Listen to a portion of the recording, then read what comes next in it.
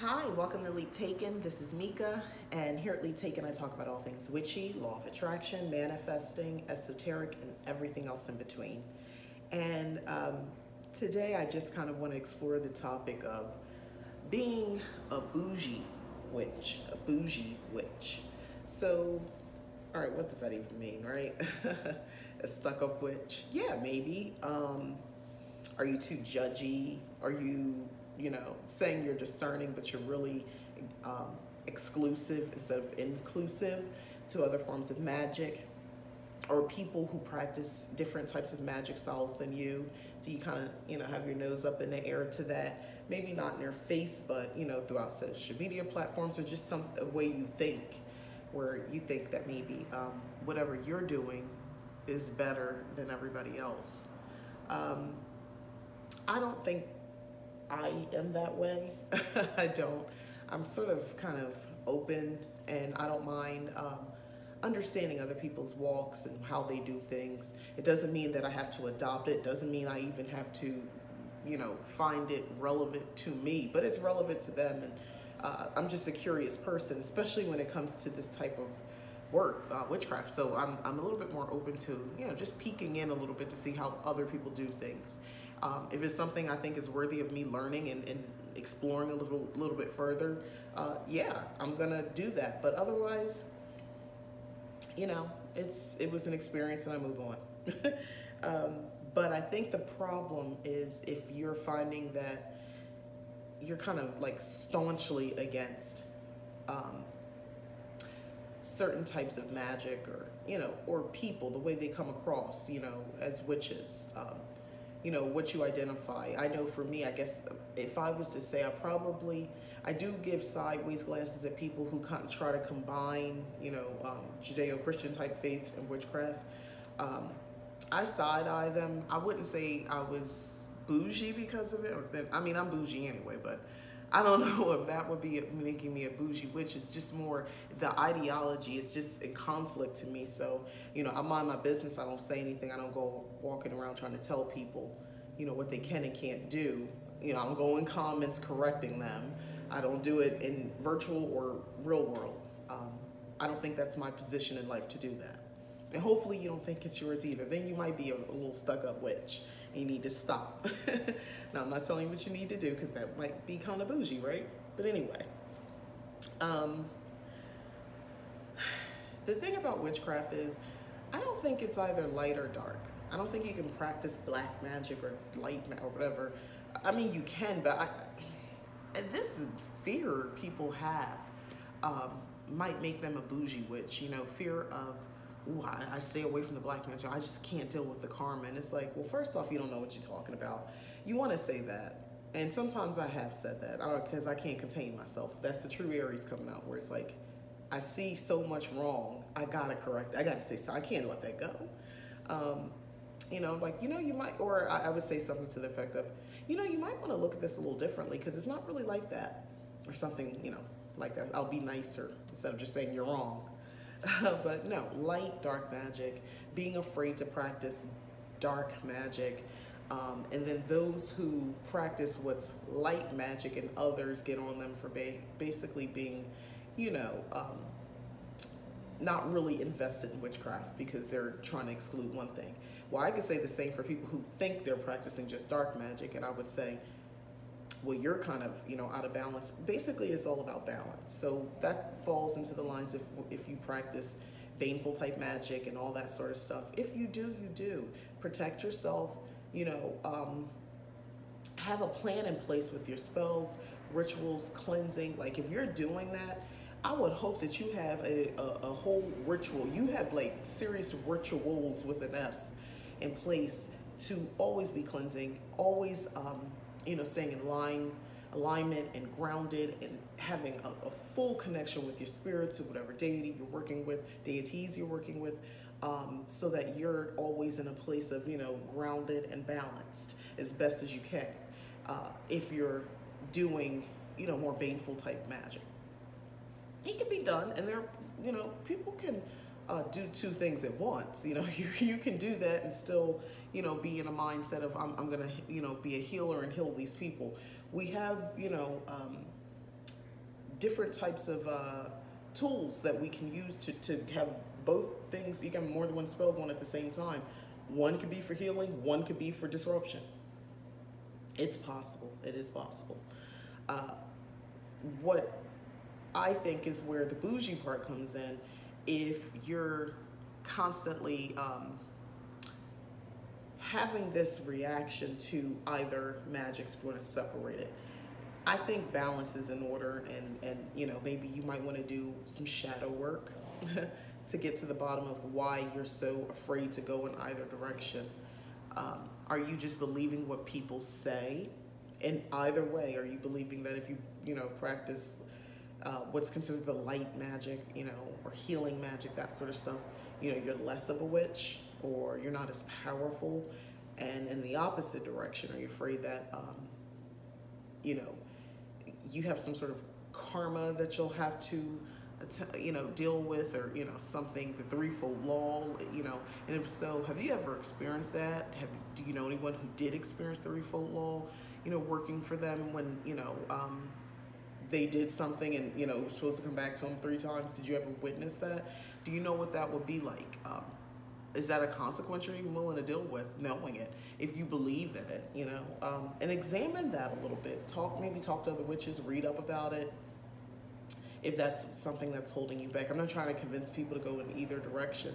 Um, i'm just saying balance is, is, is, key. Sometimes things happen to us um, and it's reactionary uh, i mean that's why you should be protecting yourself. But sometimes things happen, you know, and I don't see anything wrong with, you know, having a balance of having all types of magic in your arsenal. That's just me. Uh, the other thing is, I have a little notes here. This is just a quick video on the subject because I just, I, you know, I read things, I see things, and it gets me thinking about this, these different topics. So, like, you know, I'm thinking, what's a bougie witch? What would that even look like? Um, so different styles, different types of styles, uh, witchy styles, witchcraft, how you see it done. Um, not just paths you're taking, hoodoo, voodoo, all that sort of stuff, but uh, witchy styles. Some people, you know, they may do, every time they do a ritual or any sort of working, they post a picture on Instagram where other people won't even let you see their altar. you know, they'll never post it. And they, they have a social media presence, but they will never share their altar or anything for that matter. Maybe one candle with a black background, that's about it. Um, are you the type of person to, you know, what, what's your stance on that? And we're all open, you know, allowed to have an opinion on it. I think what crosses from opinion to bougie or, you know, is kind of um, almost, you know, having a, a, negative reaction to that. Like, oh, they shouldn't be doing that. I don't know. Be careful with the shouldn't be's. I don't know. I find that in any subject matter when you're saying they or she or he shouldn't be doing something, typically you're kind of being a little judgy. So the shoulds and shouldn'ts, maybe you want to stay away from that if possible. I think people can do what the heck they want to do. If they want to post it, that's fine. The opinion part will come in and say, hmm, I don't think I would do that. I don't I don't think I think that might weaken you know my spell if, if I expose it you know while it's still working. I could take pictures, tell you the results after I got what I wanted, but I don't know if I would do that you know on a live spell that I'm actually working on. So that's an opinion. You know, telling somebody what they shouldn't, not so much. um, ultimately, this whole thing got me just thinking about how you just need to be comfortable being the type of witch you are um, whatever witchcraft type of witchcraft you're practicing or paganism that you're currently, you know, whatever path you're on right now, just be comfortable. Just get into it. Just relax into it. Really, you know, get comfortable. If everything is all you see, everything is is more in a darker realm, and I'm using that in quotes, darker. You know, uh, the way you see things. Listen, creation was made in the darkness.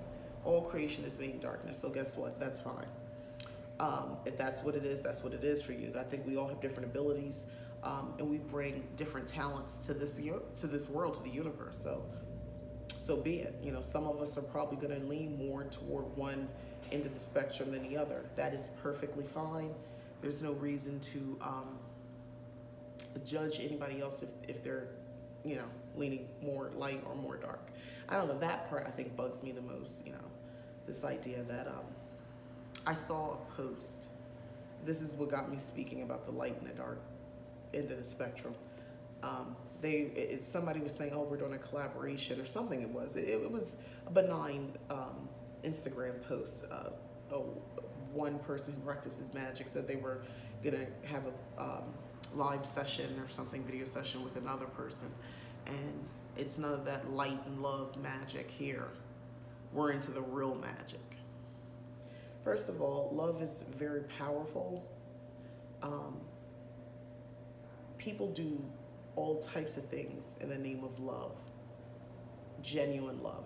You know, think of what people, think of what you will do for your children in the name of love. Think of what you do for your husband, your spouse, whatever, you know, your mother, siblings. People go to jail, you know, disrupt their whole lives. People kill in the name of love. So I'm, I think um, we need to kind of come off of that light and love, hate, and bashing of that. It, it's all about balance. There's there's room, you know. Sometimes your magic is going to be more over here and, and more over here, and maybe a little bit in the middle, more neutral. You know, it's it's that's. I mean, that's. Are you all the one way all the time? Do you express yourself in one emotion all the time? No, and um, your craft will eventually be a reflection of, it should be a reflection of you and your emotions and where you're standing. And if you're hurt because you love someone and they hurt you or you put your trust out there in the name of love or whatever and they hurt you and you want to do a revenge spell do not think that won't be powerful because you're hurting versus i don't know mad? I mean it's hurt. You're sad. You're weepy that is still a strong emotion. And if you pour that into that spell, depending on what you're trying to do, to get back to somebody who intentionally hurt you, um, because they're a psychopath or they're mean and they're horrible, I don't know, you know, whatever the situation is, uh, I, I wouldn't discount that as, oh, it's just light and love and it's not real magic. Say that to the people who are seriously out here, you know, lo- first of all, if that's the case, love spells I would not want to have someone who uh, thought light and love was not real magic working a love spell for me. And I know this these people work in that realm, you know, uh, judging by what I see on their Instagram posts. There's just this hate toward love, even in the witchy community. Everything is not light and love. We, I think we can agree on that. But everything isn't, that is light and love what is light and love is not necessarily not magical. You see what I'm saying? Hopefully you get what I'm saying. I, that's just my tangent I'm going on because that for some reason just gets, uh, it just, it, it kind of just bugs me a little bit because it discourages people who maybe are just beginning or they've been at it for a while and they've never felt a reason, you know, to do anything baneful, you know. Uh, they, they've just been going along. They might do money spells, maybe a love, love spell here and there, attraction spell, uh, spell to find something, promotion, jobs, that, you know, success spells, uh, maybe some healing spells, things like that. Those are great, you know, if you've been doing this for a little bit of time and you have some success with that, that's great, you know, and if the time comes, if it doesn't even have to be you, um, in my case, when I did do a, um, a hex on someone. It wasn't it wasn't on someone, it was on someone, several people, but at the time it wasn't even for me, it was for someone I knew. So uh, and it was effective. So yeah, it was actually very effective. So I say all that because and here's the thing, that's still most likely in the name of love because most likely if it's somebody you care about and you love, you know, regardless of the situation, it could be a cousin, a friend, you know, whatever um, you love this person and, and they've been hurt, wrongfully hurt, you know, physically or whatever, you know, emotionally, especially if it's physical. Um, that's going to bring out an emotion in you, your kids, and somebody's doing something to them. And, you know, there's nothing else you can do about it um, as far as in the mundane world. You've done all you can do, but this person is still torturing your child or somebody you love. Yeah, I don't know how you wouldn't want to do some kind of magic on them. Um, if you have the ability, right? Why wouldn't you want to? why wouldn't you want to try? Not try, you try. I don't say try because if you're trying, it might not work out. Do the magic that um, will get that to stop and possibly even punish the person. I'm not telling you to kill people, but you know, some people might need to be put in, um, in, in, in a place where they're not um, torturing, you know, someone you love or anyone else for that matter. So you could do a spell accordingly to address that. So, bougie witch. I think I went through this thinking about this. I don't think I'm a bougie witch. I'm a bougie lady, but I'm not a bougie witch. I am open, uh, probably one of the least judgmental people.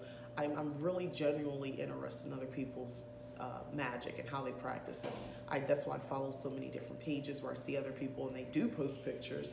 And although I'm someone who probably would never post um, everything that I'm working on, maybe some things, but not too many things, um, because it's all about energy. And even in a photograph, I just wouldn't want to to jinx it. Yeah, I believe in jinxes. I wouldn't want to jinx it. So it would be something I would do after the fact. But probably something like a full moon ritual, you know, um, new moon ritual, or any sort of thing like that, or some sort of holiday uh, type celebration. Then yeah, I would post that. I think that would be fine. Outside of that, no. Anything too nitty gritty, no. I wouldn't post it. I would. Um, I believe in uh, moving in silence for with that sort of stuff, and and then afterwards you show it. So, and I do that not in case it doesn't work, and you have egg on your face, or you don't look like a legit witch. I do that because I truly believe that other people might not wish you very well. I mean, you don't even have to be practicing magic and come across people like that. Um, I've had experiences where I have posted things, aspects of my life, and people, and you know, backhanded compliments. Um, this has happened to friends of mine too. Of course, in the social media world, this happens, and they don't wish you well. they don't wish you well. You know, you look like you're doing great. Um, they don't like that. Some people don't like it. They can't help but look and comment, but they don't like it. So, but that's all I have as far as the subject of being a bougie witch. I've answered the question. No, I'm not. I'm open, curious, and non judgmental as far as witchcraft goes. And um, if you're fitting some of the descriptions I was talking about as far as not opinionated, you crossed over to maybe being uh, more exclusive and um, more judgy. You know, maybe chill a little bit and um, just kind of remember when you first started or if you just started and you're already turning your nose up at a lot of um, the different witchcraft that you might see or different practices you see, um, just you don't have a little patience uh, with yourself and with everybody else because you have no idea what ride you might be on. Um, you don't know where you might be a year from now or two years from now, um, where you might find that you might have more in common with the people that you're turning your nose up to and the type of magics they're doing. Doesn't mean you're going to follow that path exactly, but the reason, you know, your reaction might be for a different reason. Maybe you're actually low key attracted to that and it scares you. But thank you for watching. This is Nika here at Leap Taken. Please like the video, and if you have not already, go ahead and subscribe. Thanks.